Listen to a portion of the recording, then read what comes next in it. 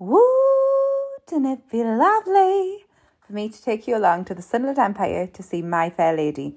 Well, guys, take your seats. The show's about to begin.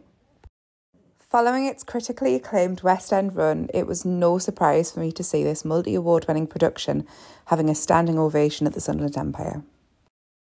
The musical of My Fair Lady was brought to life faultlessly, with everything from the lavish set designs and dramatic lighting to the beautifully authentic costumes and expert casting of stars from stage and screen.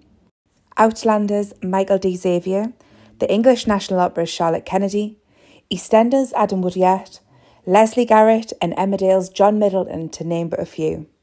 With all of the famous classic songs, you couldn't help but sing along and dance in your seat.